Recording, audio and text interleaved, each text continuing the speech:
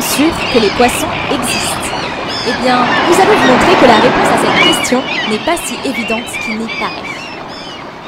Que le vent soufflera. Bonjour monsieur Bonjour monsieur. Quel poisson vous ferait plaisir aujourd'hui? Attendez monsieur, je crois que j'ai oublié quelque chose chez moi, je reviens dans 5 minutes. Mon argent. Je vais pas... euh, Mais attendez. Qu'avez-vous dit? J'ai dit poisson. Vous voulez un poisson Ok, choisissez. Ah, Attendez monsieur, un poisson Tout à fait. Vous avez dit le mot poisson, mais voyons, ce n'est pas possible. Ce groupe n'existe pas. Comment pouvez-vous dire poisson? Vous voulez parler des chondrichiens ou des ostéichiens, j'espère.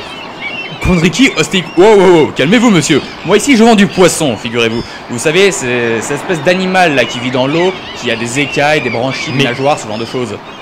Aïe aïe aïe, le poissonnier n'aurait jamais dû dire ça. Il ne savait hélas pas qu'il s'adressait à un biologiste quelque peu rigoureux, disons. Des écailles Le silure a-t-il des écailles? La raie a-t-elle des écailles? L'hippocampe, monsieur L'esturgeon, vous avez déjà vu un esturgeon Oui, je crois avoir déjà vu quelques esturgeons dans ma vie, monsieur, merci. Oui, bon. Je pense qu'on a tous compris, tous les poissons n'ont pas d'écailles. Bon. Mais madame, c'est plus complexe que ça. Ce que j'essaye de vous dire, c'est que d'un point de vue scientifique, on ne peut pas prononcer le mot poisson. Ce groupe n'est pas valable. Oui, bon, monsieur, j'aimerais juste en acheter, donc là, qu'il soit valable ou pas, hein. euh. Mais attendez, madame, je ne peux pas le laisser dire ça. Je suis biologiste. J'ai consacré ma vie à la phylogénie. Un génie, rien que ça. Oui, bah peut-être, mais moi, de mon côté, j'ai consacré ma vie au poisson. Du coup, si vous voulez bien vous décider à choisir un poisson, j'aimerais vous vendre du poisson. Monsieur, monsieur, monsieur. La phylogénie, c'est l'étude des relations entre les espèces. Ça peut être très intéressant pour vous et les espèces que vous vendez qui ne sont pas des poissons. Oui, bon, excusez-moi, monsieur, relation, relation de parenté, tout ce que vous voulez, mais moi, je m'en fiche un petit peu de savoir que ces deux saumons ici présents sont frères, cousins ou que sais-je. Entre espèces, j'ai dit. Bon, vous avez besoin d'une petite mise au point. Laissez-moi vous expliquer.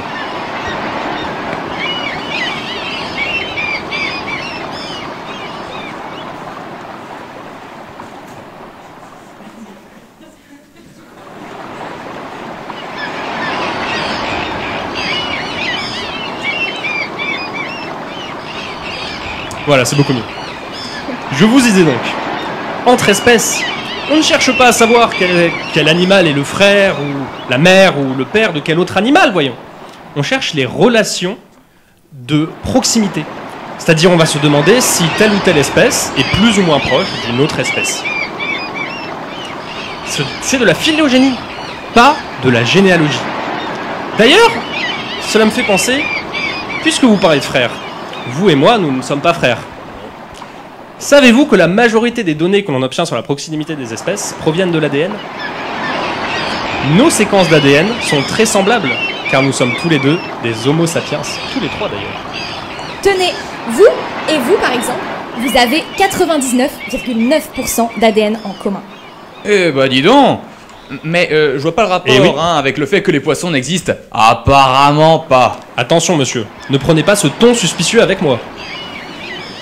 Je ne vois pas en quoi ce ton est suspicieux. Et Euh. de toute manière, euh, ne dit-on pas que tous les poissons ont des, enfin, des, ont des choses en commun Ne dit-on pas qu'ils se ressemblent, s'assemblent Et là est votre erreur. Vous vous basez uniquement sur des critères morphologiques pour définir ce qu'est les poissons. Bah quoi, c'est pas comme ça qu'on regroupe les animaux Horreur, malheur Si je vous ai parlé d'ADN il y a deux minutes, c'est bien pour une raison L'ADN, vous avez Euh. dit ADN Ah, je, je- je connais ça, l'ADN, alors ça. Euh, c'est l'acide désoxyribonucléique. C'est une longue molécule qui code, un peu à la manière euh, d'un ordinateur, euh, le fonctionnement d'un organisme vivant, qui lui procure euh, ses caractères, son physique. Et c'est pour ça que hum, deux, individus qui appartiennent à la même espèce, comme deux humains par exemple, ont des séquences d'ADN très proches. Effectivement, c'est ça. Donc je reprends en phylogénie. C'est qui le génie maintenant hein? Oui. En phylogénie, on compare donc les séquences d'ADN de deux espèces. Ainsi, on obtient de multiples données sur plein d'espèces qu'on compare. Et plus les séquences se ressemblent, plus ces espèces sont proches. Et plus leur ancêtre commun est proche. Donc si je comprends bien ce que vous dites, monsieur, Oui. Ça veut dire que plus les séquences d'ADN de deux, espèces, de deux individus sont différentes, plus leur ancêtre commun est éloigné. Oui, oui, c'est bien ça que j'ai dit. C'est à partir de ces études d'ADN que l'on crée des groupes qui sont valables en phylogénie, pas comme le groupe des poissons. Ce genre de groupe s'appelle les groupes homogènes. Oui, bon, merci Jamy, mais euh, dis-moi, c'est quoi un groupe valable en phylogénie? Oui, c'est quoi un groupe valable en phylogénie? Alors ça me fait très plaisir que vous me posiez cette question. Un groupe valable en phylogénie, c'est très intéressant. C'est-à-dire que c'est tout simplement un regroupement d'espèces qui a un ancêtre exclusif. Alors, qu'est-ce que c'est qu'un ancêtre exclusif? Vous me direz, évidemment. Hein L'ancêtre exclusif a de particulier qu'il est commun au groupe qu'il définit, mais uniquement à ce groupe. Aucun, aucune autre espèce ne peut faire partie du groupe et avoir cet ancêtre commun. Et c'est ainsi, à partir de la réalisation de ces groupes que l'on appelle homogènes, qui sont valides, pas comme le groupe des poissons, que l'on réalise des arbres phylogénétiques. Tenez, je vais vous en montrer un. Attendez, je cherche, j'avais tout prévu. Venez voir.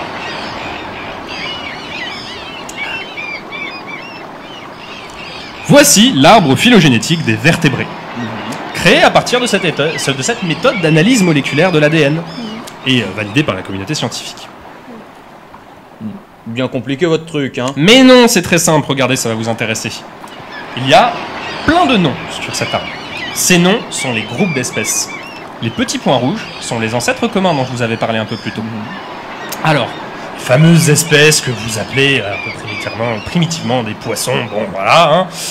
On a les cyclostomes, qui euh, bah, regroupent les lamproies par exemple, Bon, ça. les chondrictiens avec les raies et les requins, Pas bon, ça. les actinoptérygiens, alors les actinoptérygiens c'est très intéressant, ça regroupe la majorité des poissons que vous connaissez.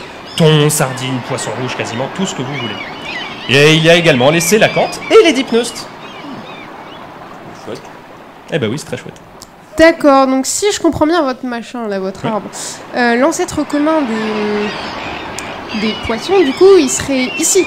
Exactement. D'accord, mais ça veut dire que si on veut créer un groupe valable euh, à, à partir de, cette, euh, de cet ancêtre, il faut prendre toutes les espèces qui descendent de cet ancêtre commun. Du coup, toutes les espèces de l'arbre, finalement. Eh bien oui. Mhm. Ouais Regardez, il y a même les mammifères à l'intérieur, on est là Bah non, il peut pas y avoir... Ah bah si, il y a les mammifères, mais... Bah, bah, qu'est-ce qu'on fait? Qu'est-ce qu'est- qu'est-ce qu'on fait là? Dire, si, si on prend toutes les espèces que vous avez citées, monsieur, on ne peut pas créer de groupe à partir d'un ancêtre commun sans inclure les mammifères dedans. Ils sont forcément compris. Et oui, vous y êtes presque. Ça veut dire qu'on est des poissons Mais non Ça veut dire que... que les poissons n'existent pas Ça vous laisse muer comme des carpes, hein D'après les observations qui viennent d'être faites, on remarque donc que l'ancêtre commun aux différents groupes que l'on appelle communément poissons, donc les, les par exemple ou les actinoptérygiens, est aussi l'ancêtre commun des tétrapodes, dans lesquels on va trouver les mammifères, dans lesquels on va trouver les homo sapiens, c'est-à-dire nous. Or, comme nous l'a dit le biologiste précédemment, un groupe valable en phylogénie, c'est un groupe qui a un ancêtre commun exclusif. Or là, ce n'est pas le cas puisque nous avons les tétrapodes en plus. Donc nous pouvons dire que le groupe des poissons n'existe pas. Oui, bon, enfin, maintenant qu'on connaît tous ces animaux, hein... Attendez, vous ne connaissez pas tout sur ces animaux. Un dont je vous ai parlé un peu plus tôt qui est très intéressant, le dipneus, c'est incroyable. Il Ah a non, des... non, non, non, non, non, non, non, on va s'arrêter là. Hein. madame. Euh, c'est bon, les explications, ça fait 20 minutes qu'on y est. Moi, j'aimerais bien faire mes courses. hein. Donc, Mais- on va se mettre d'accord sur quelque chose. Hmm. On peut encore employer le mot euh, poisson quand euh, bah, on parle de cuisine, de gastronomie, euh, quand je vais faire mes courses, etc. Mais c'est vrai, c'est vrai, je dois l'admettre que vous nous avez très bien démontré que ce terme poisson, euh, scientifiquement parlant, est incorrect et que donc euh, dans, ce, dans un contexte scientifique, on ne peut pas l'employer. Oui.